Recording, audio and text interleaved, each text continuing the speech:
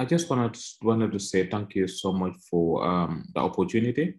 It was um, definitely an insightful training, and to be honest, I've always had the person to understand and also um, use digital tools um, in terms of amplifying whatever I'm doing as, as a campaigner. And I think this actually provided me with that opportunity.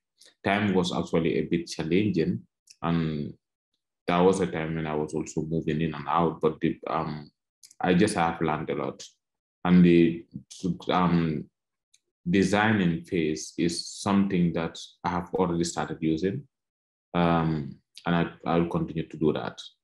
That's the um, graphic design and so on is something that i have already started, learned newly, and I'm I can say I'm working progress on that.